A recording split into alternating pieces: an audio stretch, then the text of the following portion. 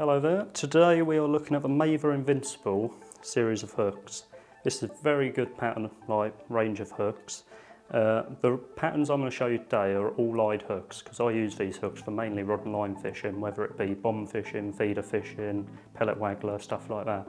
In the range they do have a lot of other patterns which will be spade ends, which you can use on pole, but the three I'm going to show you today are the ones I use for, like I said, rod and line fishing. The first one is the CS20. This is a, well, it says a hair rig hook, which is exactly what it is. Uh, I use this hook whether when I'd be fishing maybe a reservoir, fishing for bream. Slightly finer wire than a lot of commercial hooks, still just as strong. Uh, maybe if I was fishing in the winter, fishing for F1s or stuff like that, this would be the hook I'd go to, or even F1s in the summer. The next hook I'd show you is a hook I'd use for my, my straight lead fishing. This is the CS24. Uh, in the summer, a big part of commercials nowadays is fishing a bomb and a pellet waggler. People blast 8 mil pellets into the lake and that's how they fish. You fish on the bottom with a waggler, on the bottom with a bomb.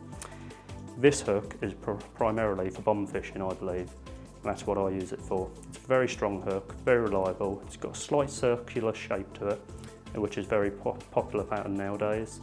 Uh, it's got a slightly inturned eye. It's very good pattern and won't let you down. The final hook is in the name, the CS26, and this is a pellet waggler hook. It says it on the packet, and it's exactly what it is. It's perfect for pellet waggler fishing because of it's got an inturned eye, the shape of the hook, just when you tie it right, with the band just at the bottom of the shank, it holds the pellet just off the hook.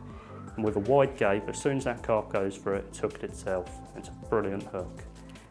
That is the Invincible range. Like I said, there's loads more patterns and just have a look in the catalogue.